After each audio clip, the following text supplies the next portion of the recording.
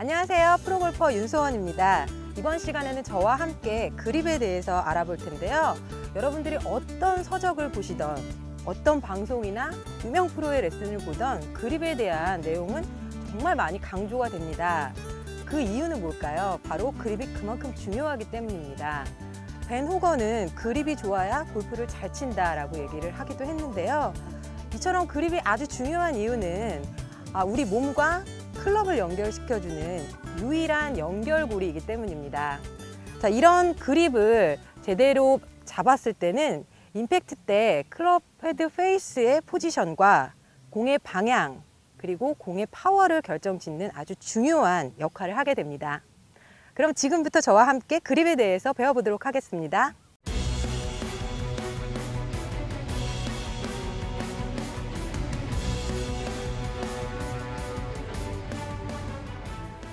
어, 그립 잡는 법에 앞서서 먼저 그립의 종류에 대해서 간단하게 설명을 드릴게요. 그립의 종류는 총 세 가지가 있습니다. 먼저 베이스볼 그립이죠. 마치 야구 그립을 잡듯이 이렇게 양손이 분리되어 있는 모습인데요.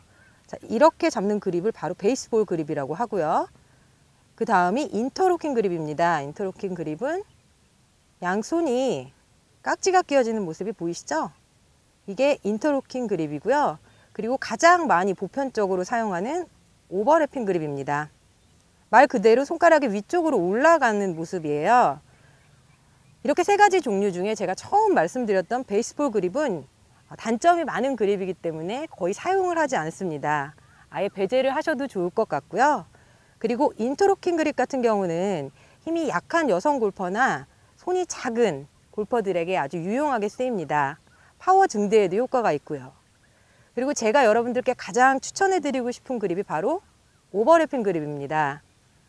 어, 80% 이상의 아마추어 골퍼들이 사용을 하고 프로 골퍼들 같은 경우도 보편적으로 아주 가장 많이 사용을 하는 그립이죠.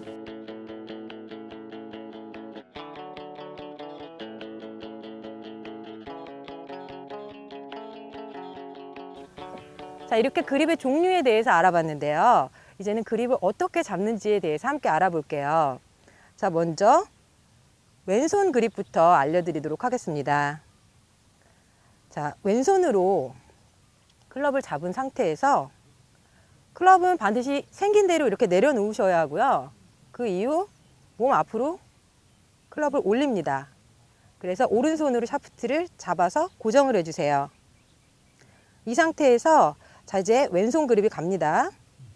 손바닥을 펴면 그 왼손의 그 새끼 손가락 바로 밑에 두툼한 부분부터 왼손의 검지 손가락 첫 번째 마디까지 이어지는 대각선 위에 클럽을 위치시킵니다.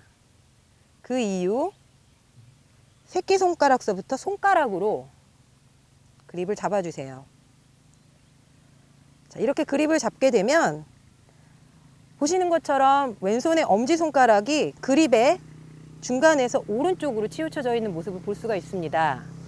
이때 엄지손가락과 검지손가락에 연결되는 V라인이 본인의 턱을 향하도록 하시면 올바른 왼손 그립이 완성이 됩니다. 자, 이제 오른손 그립을 함께 배워볼까요? 왼손 그립이 끝났으면 왼손 그립을 잡은 상태에서 왼손 그립과 동일하게 오른손 그립도 새끼손가락 밑에 부분부터 검지손가락 첫 마디까지 이루어지는 대각선 방향으로 손바닥에서 자 그립을 놔주시고요. 역시 새끼손가락서부터 손가락으로 그립을 잡아줍니다. 이때 보시는 것처럼 왼, 오른손의 검지와 엄지손가락은 붙여서 잡는 게 아니고요. 약간 자연스럽게 떨어지게 해서 권총의 고리를 잡는 듯한 모양으로 그립을 잡아줍니다. 마찬가지로 오른손 그립에서도 엄지와 검지가 만들어지는 V자가 본인의 오른쪽 어깨를 향하도록 그립 모양을 만들어 주신다면 올바른 그립이라고 말할 수 있습니다. 자, 그립을 잡을 때 양손의 손바닥은 서로 마주 본다는 느낌으로 잡는 것이 좋습니다. 자, 마주 본다는 느낌에서 오른팔이, 오른손이 밑으로 내려가서요. 말씀드렸던 것처럼 마주 보면서 그립을 잡습니다. 자, 이렇게 왼손과 오른손의 그립을 알아봤는데요. 아, 이제는 양손이 함께 어떻게 하면 더 잘 결합할 수 있을까라는 게 남아있죠. 자, 보시는 것처럼 방법은 간단해요. 저는 여러분들께 오버래핑 그립에 대해서 지금 알려드렸는데, 자, 이렇게 그립을 잡고 앞에서 봤을 때 손의 그 관절 마디들이 가지런히 정렬이 되어 있어야 합니다. 그런데 이 관절이 틀어지는 경우들을 볼 수가 있죠. 자, 이렇게 관절들이 완전히 틀어지거나 아니면 반대로 관절들이 틀어진다면 양손이 함께 융화가 돼서 움직이는 그립의 최고의 효과를 보실 수가 없습니다. 그래서 양손의 융화를 여러분들도 그립을 잡을 때마다 계속 체크를 해주시는 게 좋을 것 같고요. 그리고 그립에 있어서 제가 여러분들께 가장 강조하고 싶은 부분은 손바닥이 아닌 손가락으로 그립을 잡아야 한다는 겁니다. 아, 여기서 쉽게 여러분들의 이해를 돕기 위해서 야구 선수의 예를 한번 들어볼게요. 야구 선수들이 공을 던질 때 손바닥으로 이렇게 밀지 않습니다. 여러분들도 많이 보셔서 알 거예요.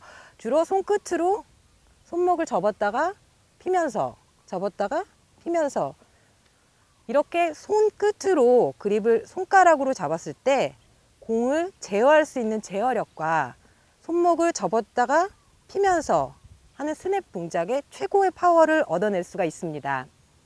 자, 이렇게 그립을 잡는다면 여러분의 파워를 최대한 극대화시킬 수 있습니다.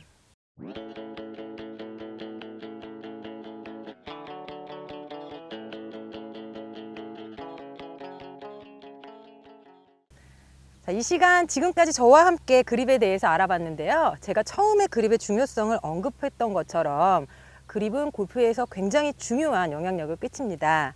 좋은 스윙을 만들기 위한 기초인 그립.